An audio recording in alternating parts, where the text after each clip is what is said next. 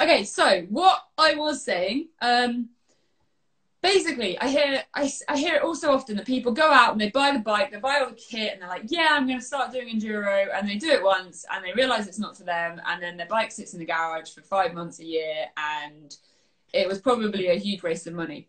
So if I think one of my recommendations here, if it's possible, it does cost a little bit of money, but a lot less than buying all the kit, is to find somewhere where you can go and hire a bike, borrow all the kit, and have a play for the day a lot of the places like this, I know that in the UK and Europe, there's loads of them. So, Megs, you might need to jump in for like the other side of the pond.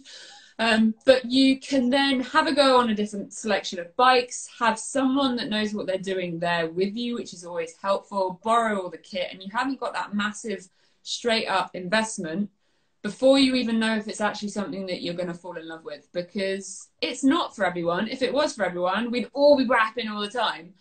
Um, so that's probably my first tip. If you can, do it. You don't have the maintenance of the bike then, you can get out and have a play. Um, so that's kind of like the first thing I came to mind on that one. Okay. Yeah, makes sense. Yeah. Um, we do have places like that out here too. I don't think there are as many. It's it's kind of hard to find places that rent bikes, um, but we do have them. We have a local spot here, uh, a local track that does it. Um, Popcombe. Come England! um, but if you can't go out and rent a bike, you can always, um, if you have friends that ride, try their bikes and stuff like that, right? Um, mm. If you're like, like they've just commented of some places as well. So we'll have a, have to have a look and see where people are suggesting. I've just seen a few comments pop up on places where you can rent bikes. So that's pretty cool. Nice, awesome. Thanks, guys. um, so yeah and if you're like me when i first started i didn't know anyone who rode um and i didn't do any research or anything and i i powered through it but now going back i would have definitely done some more research so there's so much information online um, you go on instagram and there's tons of people who ride you can you can ask for advice you can see what beginners are choosing um, for what type of terrain you want to ride. The biggest thing I would say for people who are just getting into riding is don't have an ego. So don't go out there and be like, well, you know what? I'm going to buy a 300 because Graham Jarvis rides a 300. Or I'm going to buy a 450 because it's the biggest bike there is. Um, just I like put the, ego, put the ego away. Tell it no and yeah. really I get the bike that um, is going to suit the type of riding you do and that isn't going to scare you right off the bat. So I'm talking like something a little bit more mellow, maybe even get like an air cooled Honda or something if you're totally new to riding, right? Because if you get a bike that's just too much to handle and too intimidating to ride, uh, it may turn you off of riding altogether, even though you could have potentially loved it. So um, it can make the learning curve so much harder as well because the bike's not designed for a newbie to, to ride. So it can make everything harder because you're basically exactly. riding a little bit. yeah, and that that exact same thing happened to me. So yes, I started on a smaller bike, uh, TTR 125, but um, as I grew out of that, I never physically grew out of it. um, I switched to a 250 motocross bike. It was an KX 250F that was done up for um, freestyle. So it had suspension on it for hitting 100 foot ramps.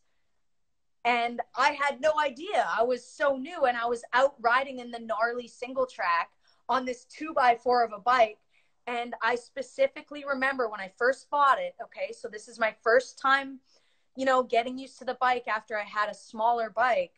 Um, I would rev it, like I'd start it and then I'd rev it and I'd be shaking from the fear and the adrenaline of the power of a 250F. And I mean, that seems silly looking back, but it's not silly at all. If you're if you're not if you're new to it, it's a lot of power. So I want to say that may have actually held me back a little bit, it, eh, like looking back, but I've still become a great rider, and anyone can.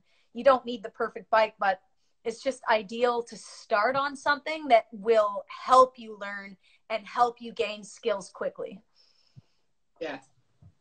Yeah.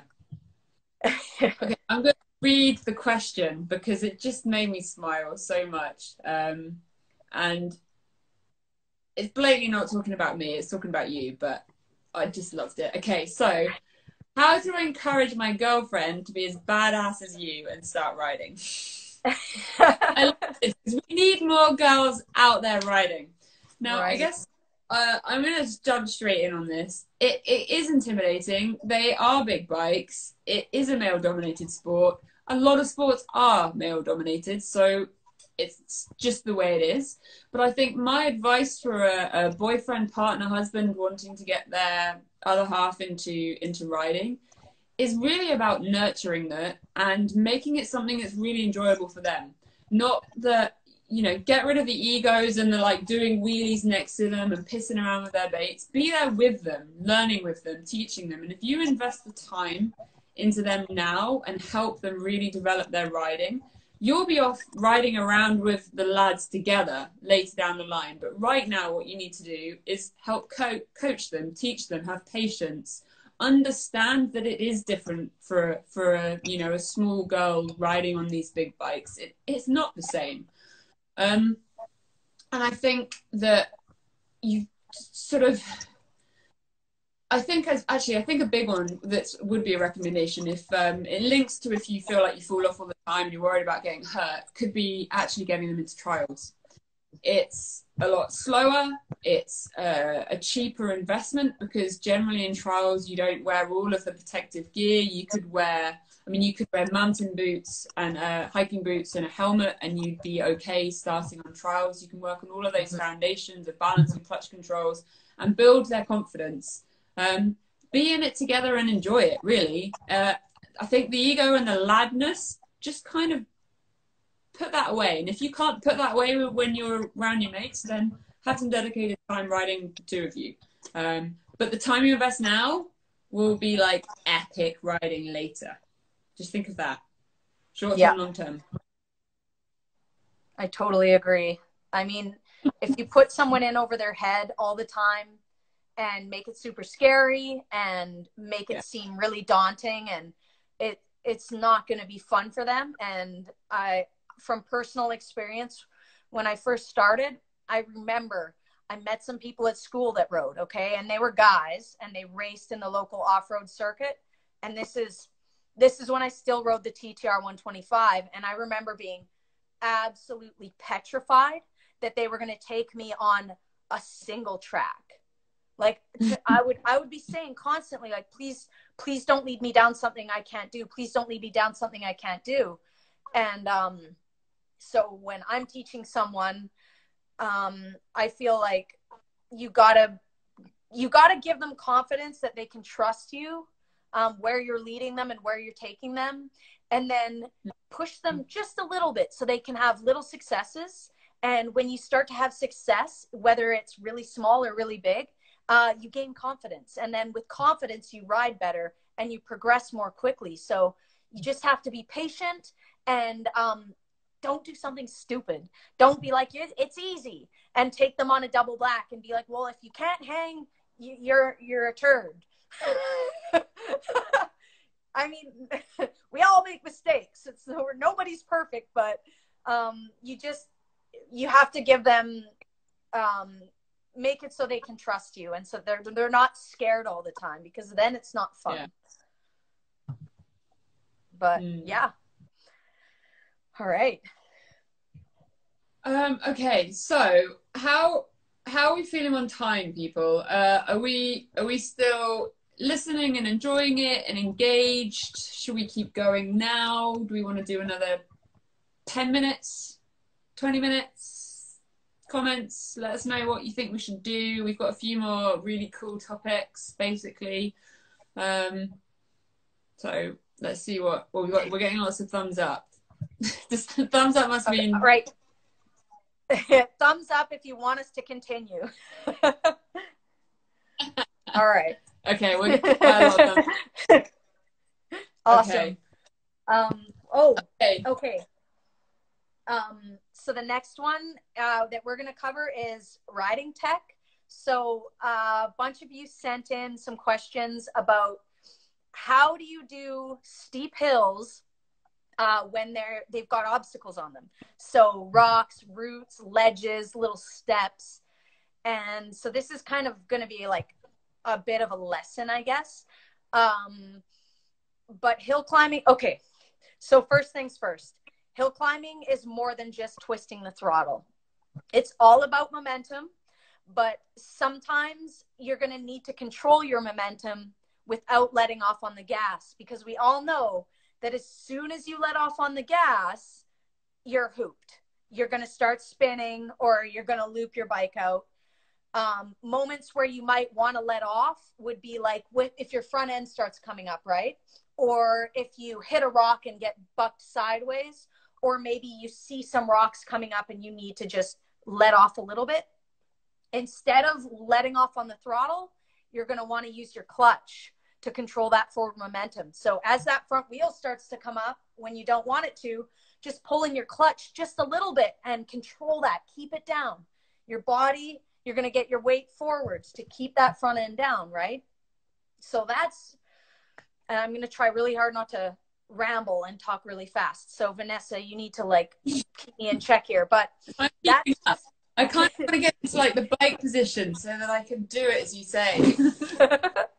um, right. So that's just going up a hill. Okay.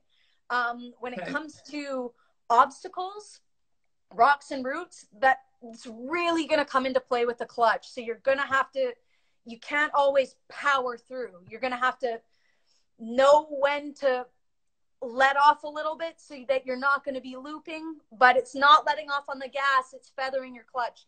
This is something that's really hard to um, teach over the phone. Um, but what we need to do is book a flight and come over and see you for a training day. Well, right. I mean, what are y'all waiting for? um, but no, I'm in. so so here's something that can probably help all of you. Um, can you see me? I need to be standing for this. Um, Yep. So when you're on a nasty hill and there's roots and rocks, the first thing you're going to want to focus on is keeping your feet on the pegs, right? So standing up. As soon as you're sitting down, you've lost control. You're going to get bucked all over the place. You want to be standing up so that that bike can move underneath you, but you can stay in control. The next thing, um, it happens to the best of us. You get you, you get bucked off and you end up sitting down. Okay, no big deal. What you're going to focus on now, if you can't get back up on your feet, is to at least keep all the weight on one foot peg. This way, you still have traction and you still have control, and you're, you're still weighting that peg, right? And you keep that up until you can get your crap together again and get back on track, balanced and standing. So that's one thing that will really, really help you guys on gnarly hills. If you can just keep your weight on the foot pegs or even just one peg at the very least. Um, because sitting down isn't going to work on on on technical hills, um, especially if it's slippery. You, you need to be standing up and in control. Um, I don't. I, it's really hard to explain. I need my I, mic. like- I think it's a pretty difficult one to chat through on a webcam. Right, right, no no hill. so right. yeah, no, I think it's pretty helpful. So I'll I'll just, definitely I'll just when I'm next. quickly recap it. Um, number one, um, you're not going to want to let off on the throttle on a hill, so you need to use your clutch to control that forward momentum. Number two, standing up um, as much as possible, and if not, number three, if you end up on that seat, make sure you're weighting one of your foot pegs. Even if you're dabbing with the other foot, keep weight on that other foot, and um, that should help massively. Cool. Yeah. Okay. Um, while we're talking about bike technical riding, I'm very aware um, that COVID 19 is rather impacting the world right now. So, I mean, here in the UK, we're on on full lockdown. I haven't left the house um, other than for a little run or a cycle for daily exercise for 15 days now, um, and you know, people people are dying. So. I really hope that anyone watching um, is, is staying safe and that your friends and family are, are doing okay. But going back to the bikes, we can't ride them right now. But I do think there are things that we can be doing in home lockdown that will help us for when we do get back on the bikes and make it so that we've come through isolation, we come out stronger. And I think the biggest one for that is balance. Um, I've actually got some really silly YouTube videos. If you if you find me on YouTube, the sock challenge, and yeah, that is about putting your socks on. Um, there's even a headstand challenge. Um, so have a go at those. But even wherever your bike is parked, can you just start trying to balance on it? And it might be that you can only balance for a split second. But if you do 10 minutes every morning, 10 minutes every afternoon, every day, I can always guarantee by the end of isolation, not that we know how long that will be, you'll either be a pro balancing on your head by the end of isolation, depending how long it will be. But it will help your bike skills. So I think it's uh, it's a cool one that we can uh, take advantage of in some ways. Yeah, definitely. I agree. Um, yep. Okay.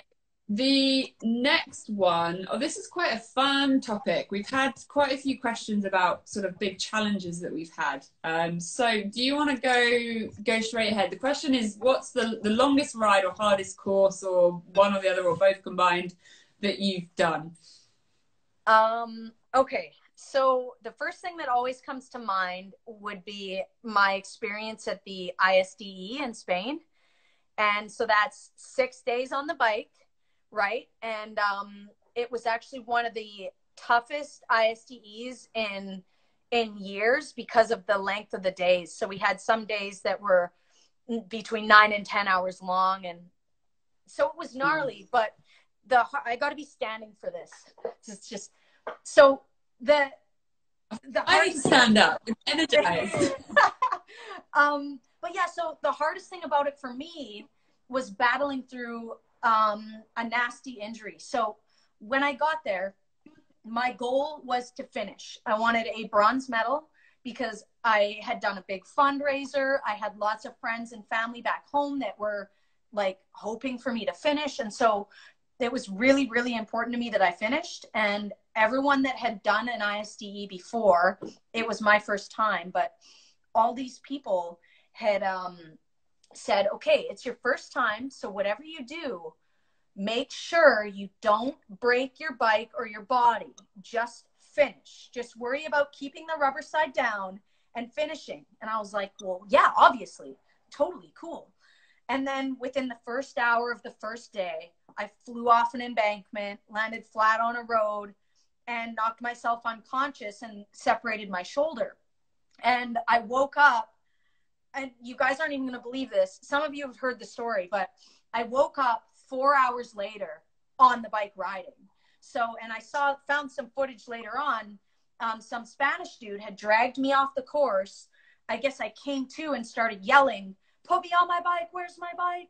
And he propped me on my bike, and I took off with both legs flying and it, there's footage of it out there somewhere. I had a bunch of tape wrapped up in my wheel, dangling, and I peeled off. And then I have no recollection of four hours of that race.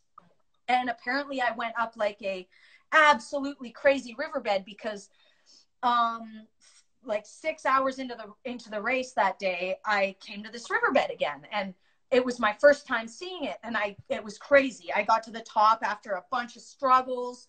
Um, bunch of people laid out, some pushing, hyperventilating. I got to the checkpoint at the top, and the guy was like, Well, you cleaned it on the first lap. What happened? And I was like, What first lap? And he was like, Ugh. And so I did it, and I didn't even, I don't even remember it because I was so messed up from knocking myself out. And, anyways, long story short, I had to do the six days with a separated shoulder, but I couldn't go to the the ISDE medics because they would probably deem me unfit to race. And Team Canada didn't have a medic. So I was just like, my shoulder was basically dangling out of the socket. and I just remember you have to push your bike up the ramp every morning to start. You can't you can't turn it on or you're disqualified. And every morning was the, the most painful because it was so you know seized up from sleeping and pushing it up that ramp was just like a tear streaming down my face and I'm just like, oh my God, like here goes another 10 hour day. And but it was just probably the toughest thing I've ever done mentally um in my life. Uh I I will admit it was horrible. um, but looking back, it's all I want to do now is try again without an injury because I think I've come a long way and um, I don't know. I just want to try it again without the, all that pain. Um, but I did finish and I did get a bronze medal. Um, but yeah, yeah, and I, I do have some good stories from it, but maybe next time I'll bring up some of the epic stories with the Slovakia girls. Amazing. Um, okay, so my one, um, I'm going to separate my longest and my hard one into two short stories. So I think my longest one, I was uh, adventure riding on Tiger 800s in Bolivia, South America, in May last year. So I was, this was my first motorbiking following my most recent hip reconstruction. I was eight months post the surgery. So I was doing really bloody pretty well to be back on a bike. And there was one particular day, which I now call the marathon day, where we had an 11 hour riding day. And most of it was on sort of dirt fire tracks. Nothing, nothing major technical, but it was like a really, uh, really tough endurance slog. And I remember like moments in that day where I just every single inch of my body just said, "You're you're done." Like my hip hurt, and I felt like I'd pushed myself way beyond my limits. But I knew that I had to keep going. Like we were in the middle of nowhere. I had to get to that to the end of that day, um, and that was probably one of the hardest sort of mental push throughs. Um, I feel like I've done as far as like the longest ride. Because it was 11 hours of riding so our day, once you know you stop for a lunch and photos and food and stuff, um, that was pretty tough. Um, and then my hardest ride, I think, was so I've only done five competitions now, and it was the round one of the British Enduro Championships. So BEC round one, uh, about it's probably two months ago now. I'm a bit confused on dates because I haven't left the house for so long. Everything's kind of merging. Uh, and it's now known to be the hard one of the hardest BECs on record. And the timings of the course, anyone who rode it, give me some thumbs up about, or just like sweat emojis of how horrendous it was. I basically rode solidly for six hours in a rut in a pine forest. I managed one bite of a protein bar in the middle, and I did not stop for six hours. And hurricane oh not hurricane, like a, a, named storm hit the UK that day. So the conditions were absolutely horrendous. And I never thought about giving up, but it was like a slog to keep going, if that makes sense. It was just brutal. Um, and at one moment I fell off. Don't you, you know when you get so tired that you fall over, where you're like, why did I even fall off? So it was this a beautiful berm corner going round. Somehow I managed to fall this way what was I doing? I was exhausted. I just... and my leg was under the bike, and I was just like, I remember lying there. My head was sort of downhill because I'd fallen over the berm. Again, how I did it, whatever. I remember lying there looking around. My bike had obviously turned off, completely silent. Looking around, trying to see if I could see a marshal. My leg was completely pinned under the bike, I was like, "What?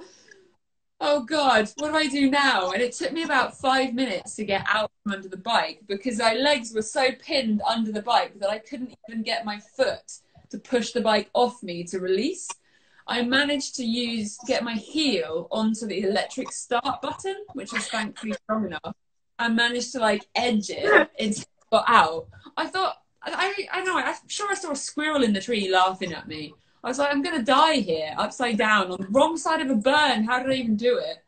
Um, with a storm hitting in a pine forest. but it was a really hard day. No jokes aside, it was absolutely brutal. It pushed me um, to my limits, that's for sure. Oh my gosh. I love this story. Why do we do this? How is it so fun though? because we're sick. uh, crazy race story? Um. Oh man. Well, there was the rev limiter last year, um, which was kind of a bust for me because it was my first race I ever DNF'd um, because my bike my bike just quit and I thought it's because I, I blew the top end. But uh, long story short, it ended up being the put the put or the no, I think the main jet was completely plugged. One of the jets was completely plugged and my bike just wouldn't run.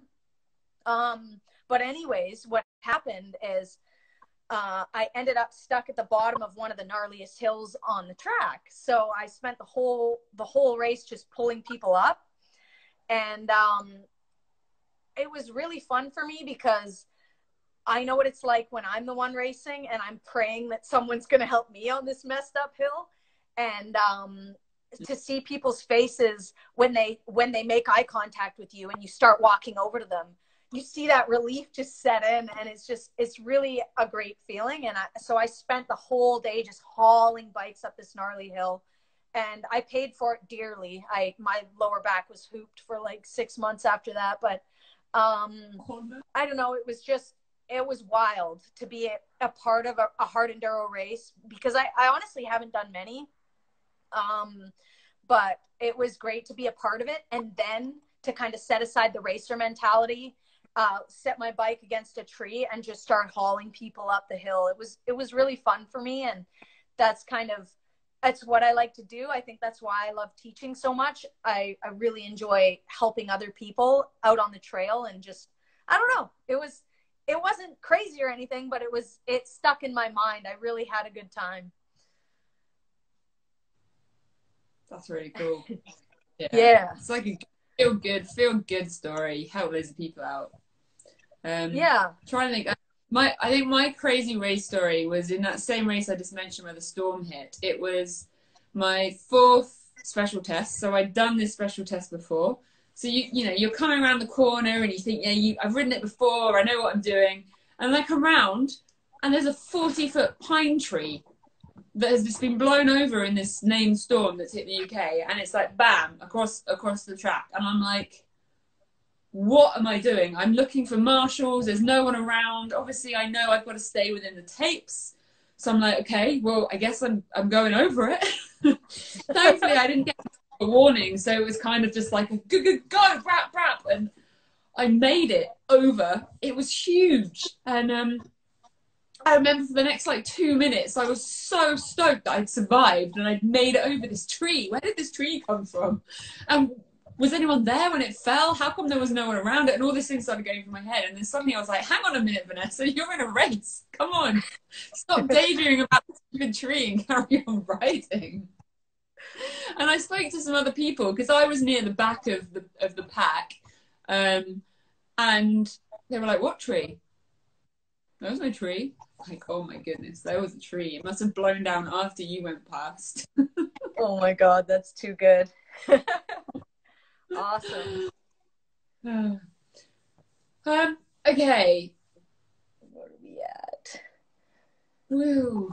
We've still got four little sections. Um, yep.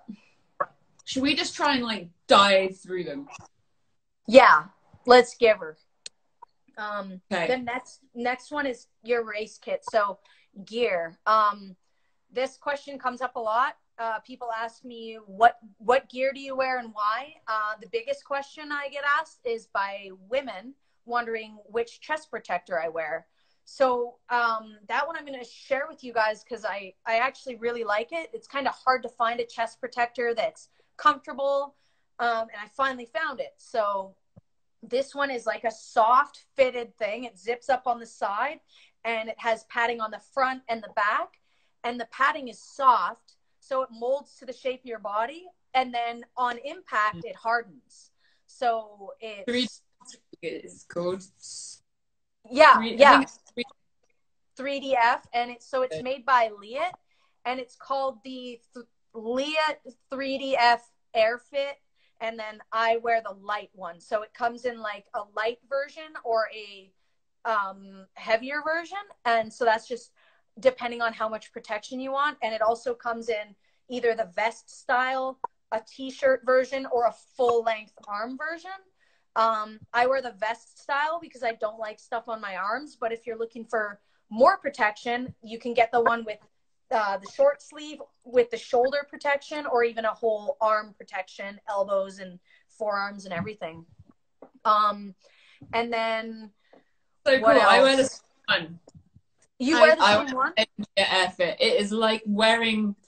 I don't know. You say you put your slippers on, it's so comfortable. It is just cuddles you. I wear the full, like the max one of the elbows, the shoulder, everything. Yep. And it's mm-hmm. so comfortable. I love it. Absolutely love it. Really easy to wash when you get sweaty in it. Um, and it just cuddles you. Yeah, I wear the same one. Yeah, that's that's a good thing. The the easy to wash thing is a is a benefit because there's nothing worse than having a big smelly chest protector that can't go in the wash. um, what else is there for bike protection? What else? What do you wear? I guess one thing for me, when I first got bike protection, I remember Laura at Super MX said to me, she was like, right, I understand that right now you're a beginner, but my advice to you is to buy the best protection that you feel like you can afford right now because if if it's something that you end up that you enjoy and you carry on with, you will in 6 months, 9 months, a year start to push your riding and be at a point where you probably need that next level of protection. So instead of buying, you know, the budget basic knee knee pad now, get the one that will actually be good enough for you to continue your journey with because if you buy the slightly better knee guard now, you won't then have to upgrade in six months or nine months. So get the best that you can afford right now, um, and obviously a lot of it comes down to budget when you what you can afford. But I was so pleased with that because I then bought that Leatt Airfit, and I've never had to change my my armor.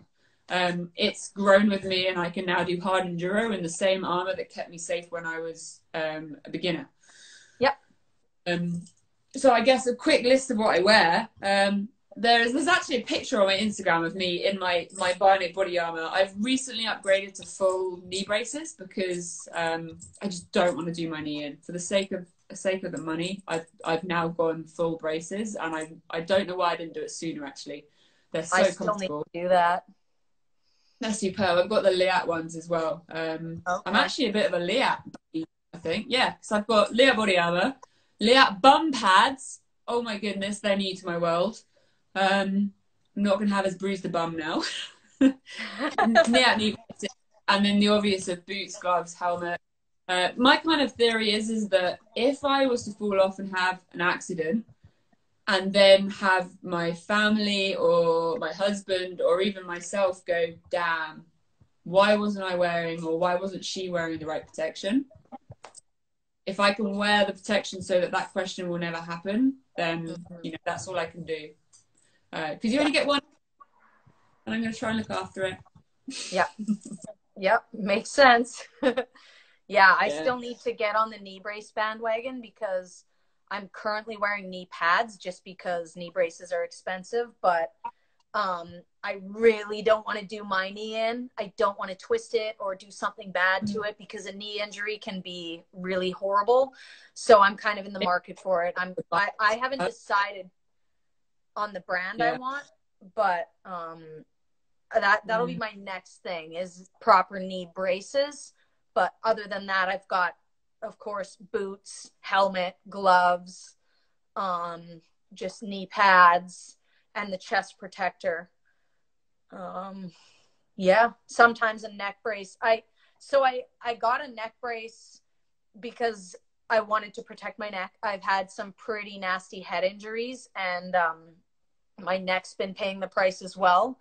And I find that the neck brace is really hard to wear in hard enduro terrain because of the steep changes. You, you know, like hills and stuff. You can't necessarily look up when you're trying to pick your line on a hill or even look yeah. down far enough when for re- really steep down so i'm struggling with that right now and that's why you don't see me wearing it um, as often but um, i'm working working it out right now trying to figure out what i'm going to do but mm. yeah just watching some of the comments, we've had quite a few people saying, "Do it with the knee braces." I've done my knees. Don't don't wait. Yeah, yeah. I need to get used to it. I also have an issue with the feel on the bike when I have too much bulk around my knees. I I I feel awkward, but I I just need to power through that and get used to them. Get used to it and adapt. Yeah. Yeah. yeah. Okay, gender. What? We girls. Yay. um, is I guess this next one's all about um do we feel like we're often underestimated or undermined being, you know, girls out there as far as our riding or our mechanical abilities, um, basically? Do you want 100%. to jump? Yeah, of course. Um, it's like anything uh, in, in a sport where it's male dominated, it's going to be weird to see women out there doing it. And I think a lot of people underestimate us. Um, or undermine us like it says in the question um, a lot of people tend to chime in on posts and you know people i don't want to get too far into this because we're just going to rip through this but yes we definitely get underestimated and undermined as women in the sport but the thing is that as a as a female rider i don't think of it as well i'm just a girl i think of it as well i'm I'm just a rider. I'm I'm just like any anyone else. I may have a slight disadvantage because of my size, but the only thing holding me back is just extra practice. Um, we can do anything on the bikes if we set our minds to it. And um, it's just a matter of attitude. You can't go into it thinking you're a lesser rider because of your gender, um, mm-hmm. because mm. that's not true. Um, anyone can do anything on a bike. Uh, look at Laia Sanz. She's she's incredible. She she yeah. kicks the crap out of so many male riders out there, and um, mm. it's just it's it's your your attitude, your energy, and your dedication. How much time are you willing to put in? And um, yeah. where do you see yourself ending up? If you see yourself always being second best, it's not your gender holding you back; it's your attitude.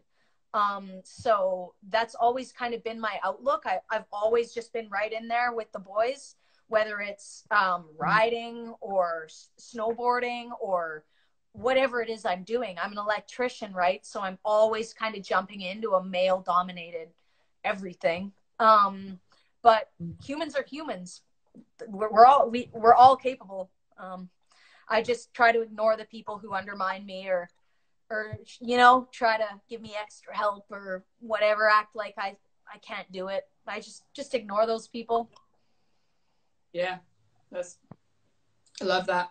I think that arm as well is that i think there are some i, I don't want to say anything bad about any girls at all ever but i definitely think there are some girls that don't necessarily help the rest of the girls out. Um, like wearing high heels and thongs on motorbikes. Um, I'm sure it looks awesome on a poster on the wall, but it's not going to give you credibility as a rider.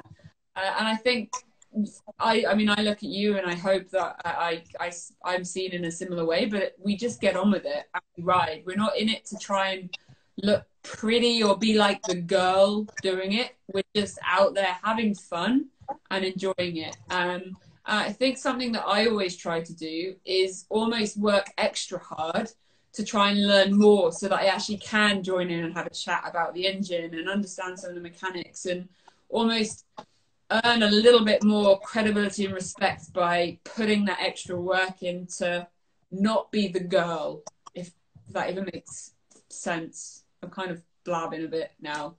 Um, but yeah, I mean, we need to get more girls out there. So if you're a girl and you're watching this, let's ride. Okay? Yeah. we can do it Girl power as the Spice Girls started. Love the Spice Girls. yep. Um, um, okay. What's next? Mechanics. So I'm in my mechanics garage.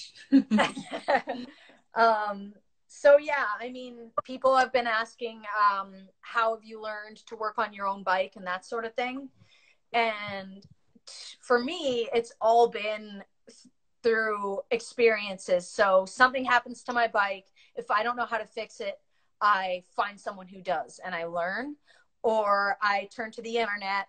Um, because mm-hmm. being able to fix your own stuff is really, really helpful because 90% of the time something breaks on a Saturday night and the shops aren't open and um, or you know you can't afford to just pay shops to fix your stuff all the time um, so yeah it's it's a, it's really great to kind of know and understand your bike. And to me that just comes with time and experience.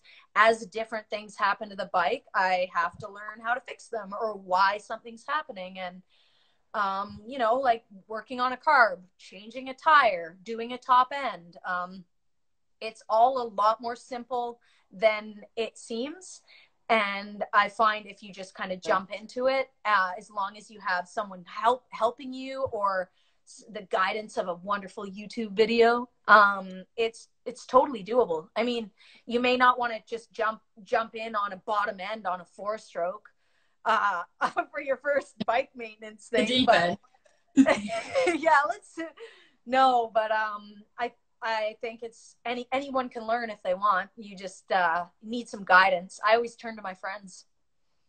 Yeah, yeah. YouTube, the bike manual. The bike manual is like mm-hmm. gold mine, which I think a lot of people overlooked. And then giving it a go. You know, change your own oil for the first time.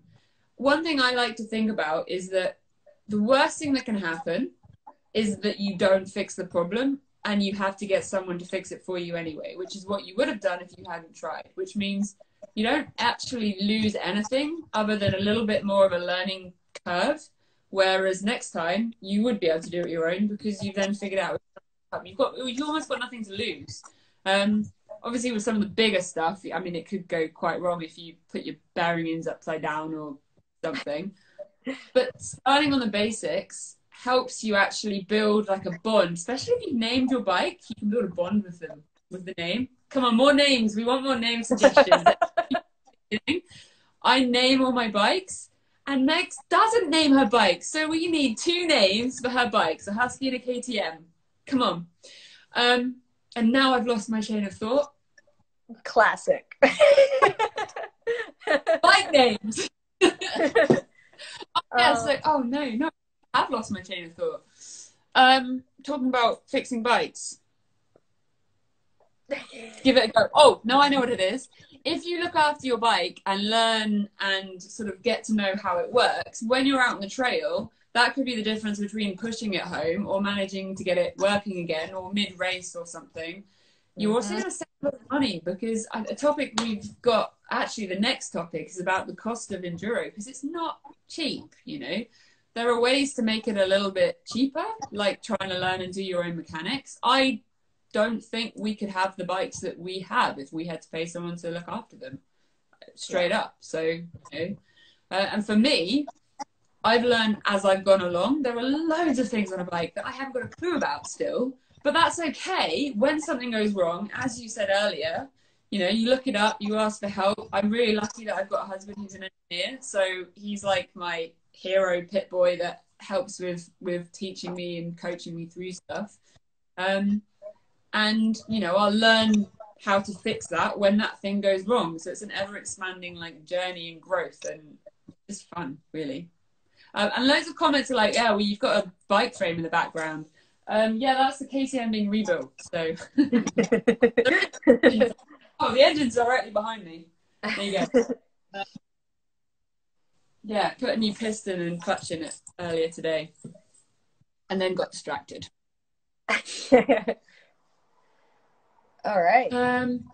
Okay, I think we've covered that one. Oh, good question. Okay, the cost one. I'm going to fire it straight at you. If you had two hundred pounds or two hundred dollars to spend on your brand new bike, as like the the thing that you do to it, and you only have two hundred, what would you do? Okay. Um, so only $200 scares me a little bit because the first thing I want to do to my bike is suspension. Um, so if I could stretch that and, and get my bike resprung for $200, that's what I would do. Um, if not, I would, and you guys are going to laugh at me and make fun of me, but I would take off the stock Dunlop AT81 tire and throw it away and put a gummy tire on the back with a mousse in it. um, but suspension is always my first thing. Being a smaller rider, mm-hmm. um, it may, it's the difference between night and day. Like it needs to be yeah. resprung for sure. Um, it's ever since I started getting my suspension set up properly for me, my riding has um, improved like crazy. I think when I first put the right uh, spring rated, uh, sorry, weight rated spring in my KTM, I honestly think I was 20% faster immediately because I wasn't just being ragdolled by the standard spring. Obviously, a lot of people will fit the standard spring because it's made to fit the average rider. But for me, I need a considerably um, light, lighter spring weighting for, for my weight. And yeah, it made a huge difference. Okay, yeah. so if I had 200, um, I think spring straight away would be the first thing if I can get that done. And if you were just to do put in England anyway, if you were to just put a a different weighted spring in, you would be able to do it for 200. But if not, it would be bike protection because it costs a lot. It does cost a lot of money to put the the bike protection on, but it's like a, a short term cost for not having the repair cost later. Um, yeah. So things like having the guards that are going to protect your levers from being snapped every time you go out or, or drop it. Um, the protections on on pipes, on chains, on sprockets. Um, uh, I'm trying. I'm looking at a bike, trying to work out where the protection is. I think I'm getting tired. Yeah. Am I starting yeah. to make less sense, people? oh man. Yeah. Um, Okay, the last one in that question is what's the most impo- uh, expensive part of enduro and what can we do to try and minimize it? So I think we kind of just ticked part of it that like the damage and the the breakage is expensive. So putting protection on the bike can reduce the cost later. Yeah. Um, but do you reckon anything else that you can think of there? Um, just regular maintenance. So avoid something nasty happening to your top end, right? By properly doing it every however many hours. Um, air filter is huge. Maintaining your air filter can can save you so much money, right? You don't. Sorry, my Ooh, phone's about to die. Um, you you don't want air getting through your air filter, and that'll save you a top end. So maintain your bikes. Change your oil, uh, whether it's a four stroke or a two stroke. Change your gear oil or your engine oil. Um, do your air filter um, as often as you need. Um, and just check things. Check your fluids. Check check your brake pads um, things like that. Yeah. Look after the bike and it will look after you but it might yeah. still throw you on the ground. Of course. Yeah um, cool um Okay, we've got some quick fire questions now, haven't we?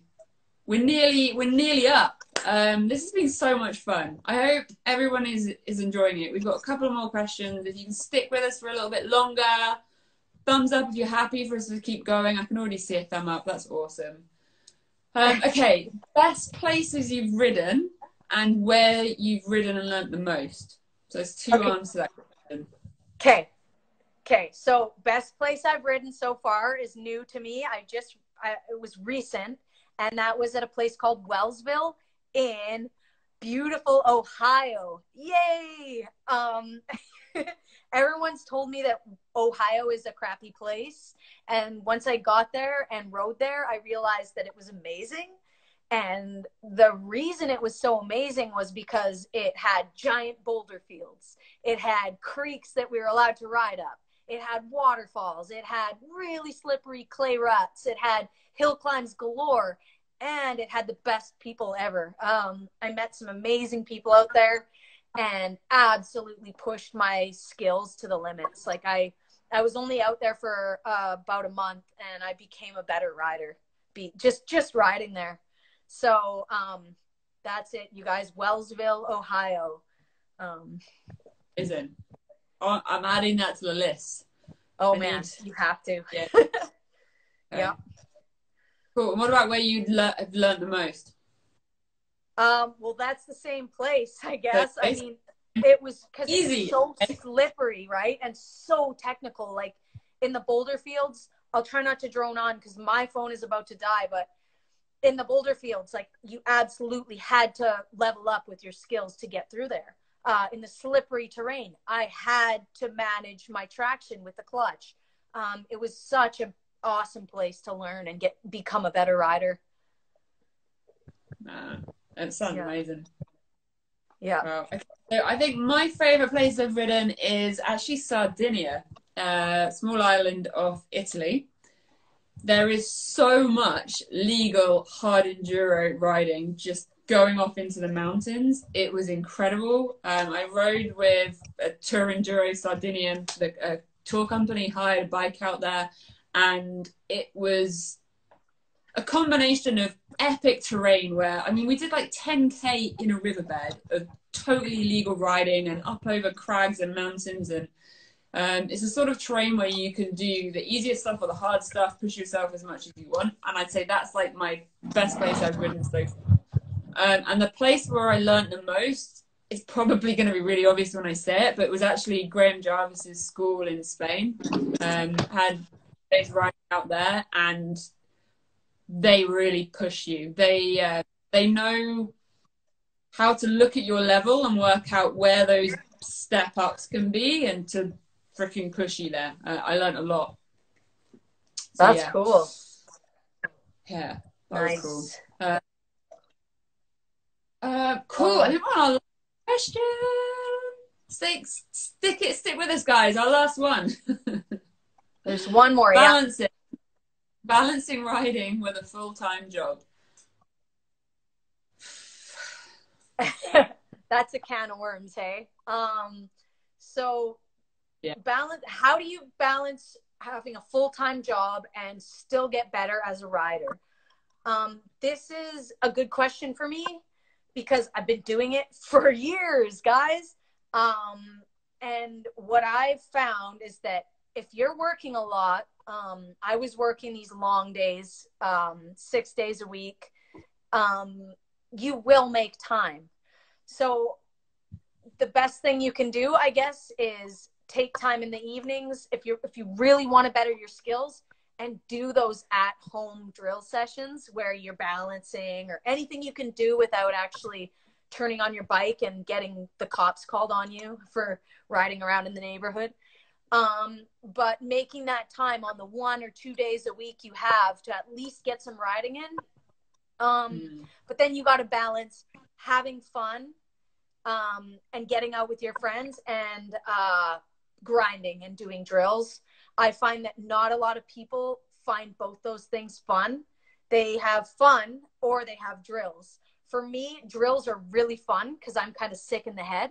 Um, so that's cool. But um, if you don't enjoy the drills, maybe you should find a way to enjoy them so that you can make the best of your time on the bike, but still progress because progression comes from dedicated practice. So you can go out every weekend with your friends and go on a fun trail ride. And yes, you will get better with seat time, but you will get better exponentially faster if you do dedicated practice. And what that means is focusing on an, as a specific skill and working on that, working on that. Um, and then once you finally get that, move on to the next skill and work on that. It could be logs, it could be a specific way of crossing a log, right? Like really break things down and work on things step by step. And that's how that's how you grow as a rider uh, in the quickest way, uh, if that makes sense. And um, so if so to answer the question, how do you get better while still working full time? You use your time wisely and do dedicated practice. yeah, good good time management and using that time wisely is is a really good one. And if you're passionate about it, you will find a way to make the time for it. Um, Totally. uh 'cause you know you'll find fixing your bike on a Tuesday night more exciting than watching that Netflix program or you know I know a lot of people have kids and stuff like that which is really hard I can't even imagine that one here um, but it's just about you know following that passion and you know, trying to shape life to fit around it or it fit around life whichever way it works yeah yeah okay I've just realized the time we are on uh, hour like cutout on the Instagram live, which means we're probably getting really close to our second hour. Oh my gosh. Okay. Um, We've been talking so much. Um, yeah. I feel like there's still so much more that we could talk about. So everyone that's listening, if there's something that we just haven't touched on or you've you've asked us a question in the comments, please drop us a, a, a, DM, a direct message, and we can gather up anything that you know that we've missed out and left, and see if it's going to make sense to try and do another session. Um, yep. Give us feedback, what you've liked about it, what you haven't. Um, make sure you follow us both. and are we allowed to I do that? Is that too? Facebook, Instagram, YouTube. Megs is amazing on YouTube, by the way. thank you. And I want to thank you guys very much for tuning in. Um, we really appreciate your support. And you guys made our afternoon or evening, depending on where you are, uh, really wonderful. So thank you very much. Yay. Wait, is this have to hang up? Do we do the Yeah, I guess so. Hang up. I'll talk to you guys later. I'll end this thing. Cool. Thanks, Bye. everyone. Awesome to speak with you. Bye.